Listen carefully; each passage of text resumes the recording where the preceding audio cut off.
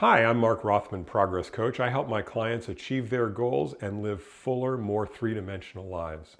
And if you haven't subscribed to my YouTube channel, please go ahead and do so. If you like this video, go ahead and hit like and go ahead and leave a comment. I want to be in touch.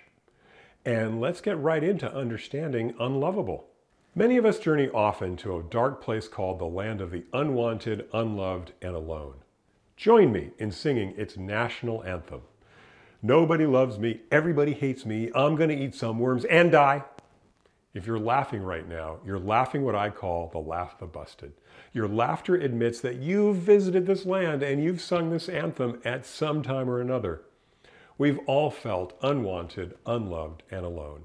In this state, we're not just unwanted, a condition of the present tense, we are unwantable. No one could ever want us in the future either. No one could ever love us. No one could ever be with us, accompany us, or care for us. Any number of incidents or forces make us feel unloved and unlovable. A big external event, such as a job loss or the end of a relationship, can make us feel this way. Our internal narrative can also take us there. We all have a seemingly infinite number of internal tapes in our heads to make us feel unloved and unlovable which we often play with little provocation at all. The car next to us at a stoplight, the size of someone's house, the projections we place on a complete stranger simply by the way she walks down the street can all send us through a wormhole to the land of the unloved, unlovable, and alone. Cue the anthem, nobody loves me, everybody hates me, we can find innumerable reasons why we do this to ourselves. We may send ourselves on these downward journeys to avoid taking responsibility for our lives. Sometimes, ironically, we entertain these negative stories because they feel as if we are taking full responsibility. We find opportunities to blame ourselves exclusively for a bad outcome.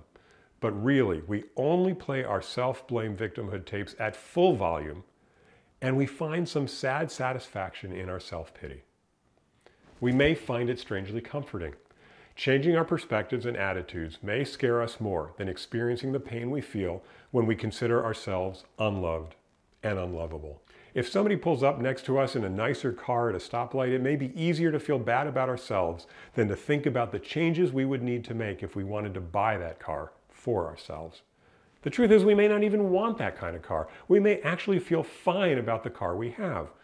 We may use the car as a shorthand for our projection of the life Mr. Fancy Car has that makes us feel unloved and unlovable. The fantasy we build around what we see and covet in another person distracts us from taking a true assessment of our lives. This distraction blocks us from owning the life we have. It makes us devalue ourselves in an instant based on some external symbol, some projection we make onto another person, all based on a whole bunch of stories we make up in our heads.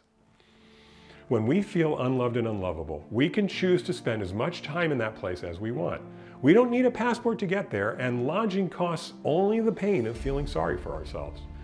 But we can also use those feelings to remind us of the power we have over our own lives and to find the meaning and strength in who we are, what we have, and what we can do. We can embrace those things about us that are, in fact, powerfully lovable and return to a place of self-worth and abundance. Thanks for watching. If you haven't subscribed to my YouTube channel yet, please go ahead and do so. Go ahead and hit like and definitely leave a comment. I want to be in touch. And I'll see you in the next video. Hey, thanks so much for watching. If you haven't yet, go ahead and hit the subscribe button. Hit the like if you liked the video. Definitely leave a comment. I really like replying and knowing what you think. And then you can find a link below to my website, markcoach.net. On Instagram, I'm Mark Progress Coach, and Facebook is Mark Rothman Progress Coach. And I'll see you in the next video.